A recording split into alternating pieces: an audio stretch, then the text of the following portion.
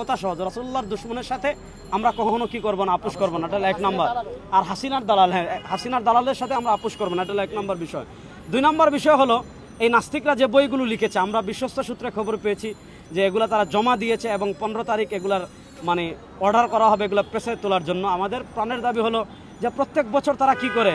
আমাদের দেশে বই নিয়ে একটা বিতর্ক তৈরি হয় যে বিভিন্ন ইসলাম বিদ্বেষী বিষয় ঢুকিয়ে দেওয়া হয়। আগে আমরা দেখেছি একবার বিবর্তনবাদ ঢুকানো হয়েছে, একবার ট্রান্সজেন্ডার ঢুকানো হয়েছে। তারপরে দেখা যায় আন্দোলন হয় টেন্ডার বাতিল করে আবার নতুন বই, রাষ্ট্রের হাজার কোটি টাকা কি করা হয়, নষ্ট করা হয়।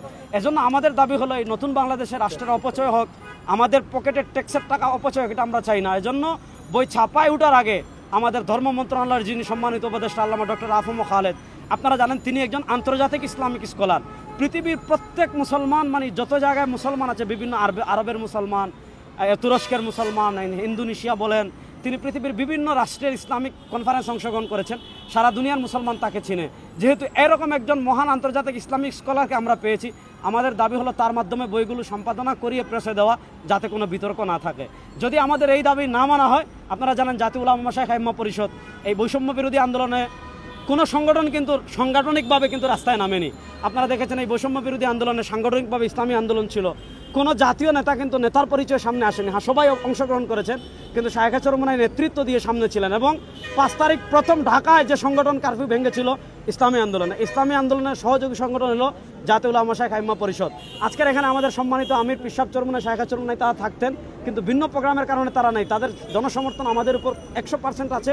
তাদের সম্মতিতে আমরা ঘোষণা করছি, যদি আগামী ছয় মাসের, আগামী ছয় অক্টোবরের ভিতর আমাদের দাবি না মানা হয়, ইসলামী আন্দোলন বাংলাদেশ যে বিশাল জনশক্তি রয়েছে, শুধু ইসলামী আন্দোলন আমাদের ইসলামপন্থী সব মানুষ মিলে আগামী ছয় তারিখ ইনশাল্লাহ এনসিডিপি কার্যালয় ঘেরাও করা হবে। আমরা এই বিষয়টা যেহেতু শিক্ষা মন্ত্রণালয় সংক্রান্ত, আমরা শিক্ষা মন্ত্রণালয়ের যিনি উপদেষ্টা আছেন, তার সাথে আমরা দেখা করেছি। আমি ছিলাম, শেখ আহমদুল্লাহ সাহেব ছিলেন সাখাওয়াত হোসেন রাজি সাহেব ছিলেন তারপর প্রফেসর মুখতার স্যার ছিলেন, অর্থাৎ বাংলাদেশের যতগুলা ঘরানা আছে মুসলমানদের, সব ঘরানা থেকে এক একজন প্রতিনিধি আমরা দেখা করেছি।